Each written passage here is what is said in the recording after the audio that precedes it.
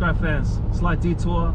We're headed to our washer guy's place to drop off that washer. He likes it, and then we'll head back out there.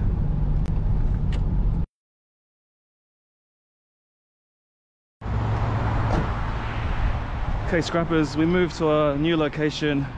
I didn't want to smash these in front of his house. So we'll take this out, this, and the dryer, sorry, the dishwasher up front.